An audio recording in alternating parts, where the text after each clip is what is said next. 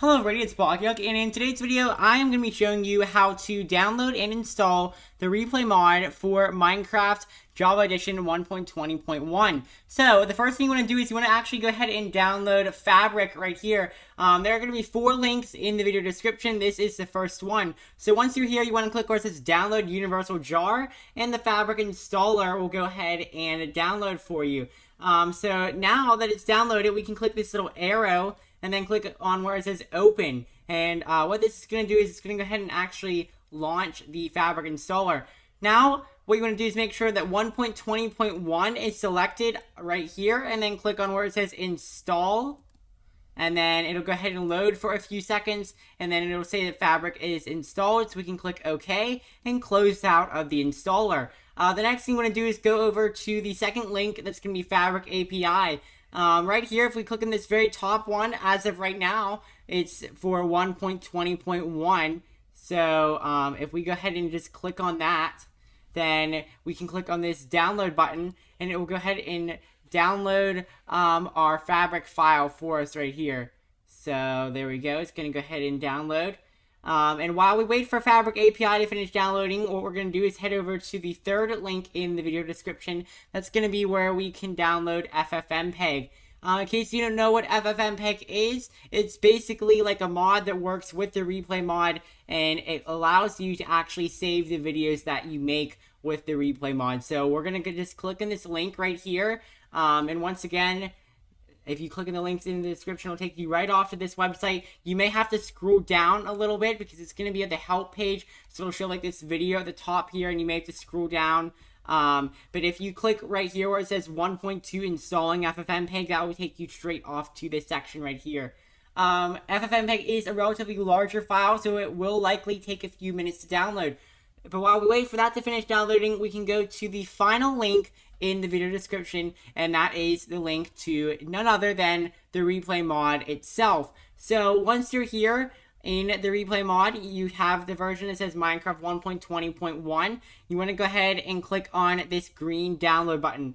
And uh, what that's going to do is it's just going to go ahead and actually download the replay mod. And once again, it will likely also take a few minutes or seconds or whatever for the replay mod to download.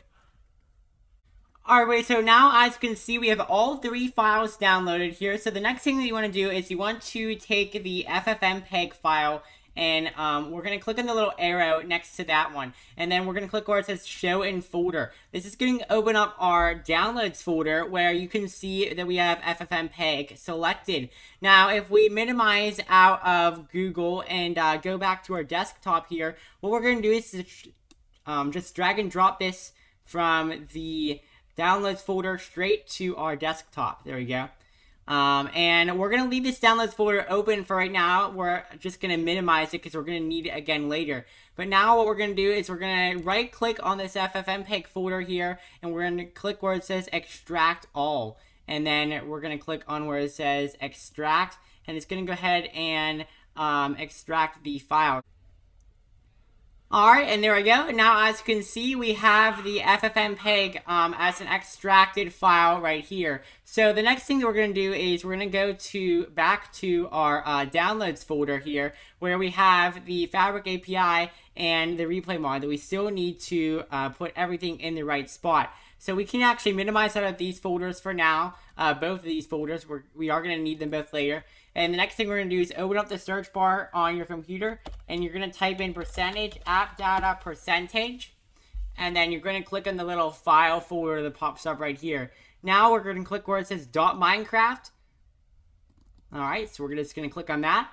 And then um, the next thing we're going to do is we're going to pull up the FFmpeg folder right here. So this is the FFmpeg extracted file. Oh, I made it way too big. There we go. Um, and we're just going to drag and drop this from the extracted file straight into our .minecraft folder here. So you're just going to you're just going to select it and I'm I'm clicking it too much. You're just going to drag and drop it into the .minecraft folder. And as you can see, it will say FFmpeg 6.0 Essentials build as one of the files inside of your .minecraft folder. Now what we can do is we can actually close out of this FFmpeg uh, folder right here, and we can also just uh, temporarily minimize this, and we're going to delete these that are on our desktop here, because we don't need either one of these.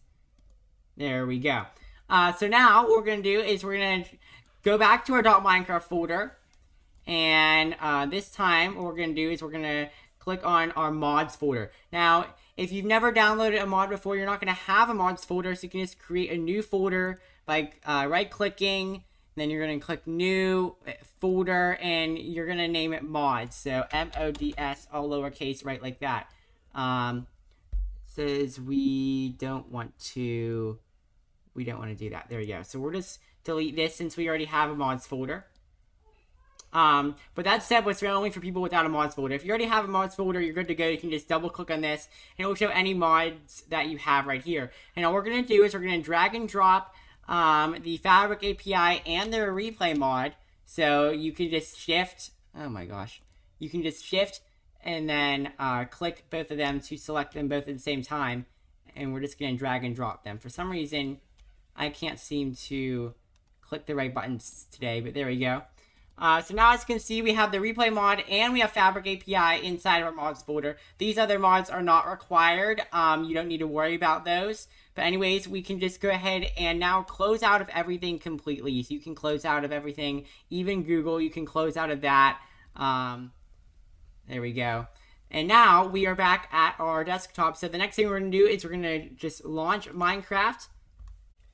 And then right here uh, on the launcher, you're going to see where it says Fabric Loader 1.20.1. You want to go ahead and click play, and then uh, Fabric is going to load up for you with the replay mod installed. Alrighty, and here we go. So Minecraft is loaded up. If you look at the bottom left corner, it's going to say Minecraft 1.20.1 Fabric modded. And there's also a new feature. If you look at the homepage, right next to where it says Minecraft Realms, you have the replay viewer feature where you can see all of your replay recordings. And uh, that's pretty much all you have to do in order to download and install the replay mod. If you guys want me to do a tutorial on how to actually use the replay mod in 1.20, then go ahead and uh, let me know down in the comment section if you would like that. But anyways, I hope that you were able to successfully download the mod. Uh, thank you very much for watching and have a great day.